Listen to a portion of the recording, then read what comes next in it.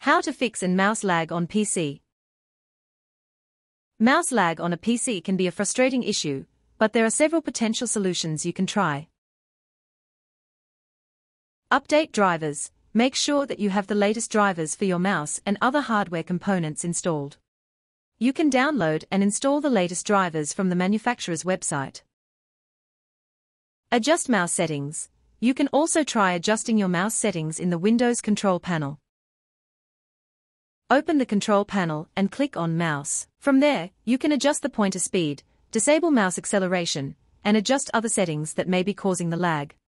Check for malware. Malware can slow down your system and cause input lag. Disable startup programs. Some programs may start automatically when you boot up your PC, causing performance issues. You can disable unnecessary startup programs by opening the Task Manager, Control plus Shift plus Escape, and going to the Startup tab. Reduce graphic settings.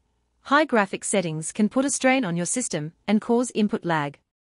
Try lowering your graphics settings in games or other applications. Close unnecessary programs.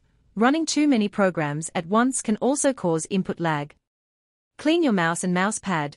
Dirt and debris on your mouse or mouse pad can cause tracking issues and input lag. If none of these solutions work, you may need to consider upgrading your hardware or consulting with a professional technician.